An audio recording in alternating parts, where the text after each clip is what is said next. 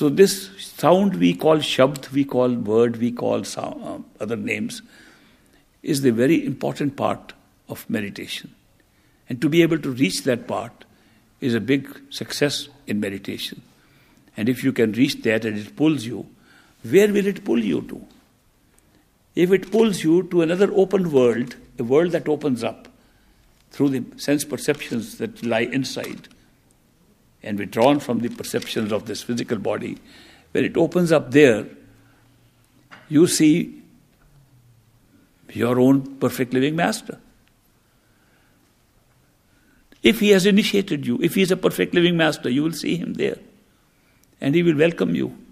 He'll welcome you because that form of the master is not tied down to the physical form in terms of how long it will be with you, it will be there forever.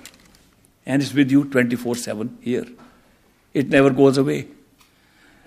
From that point onwards, nobody can ever be alone. Loneliness disappears completely forever. You have a friend, a true friend with you forever. In the beginning, you may have to close your eyes to see that friend. Later, you don't even have to close your eyes. Even with open eyes, you can see the friend next to you.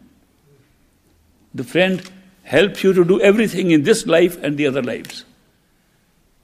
Everything that you want to do here, which today your ego and mind is trying to do, to struggle, the friend is willing to do for you. It's, it's an amazing change in life. People who don't want to believe too much in the supernatural states, in higher consciousness, but want to say, what does this do to present life here? I can tell you this whole life changes right here. Because you found a, a power within you, secret power, secret friend sitting inside you, who is helping you to do everything in this world, and you become more effective in everything you do. It changes this life completely.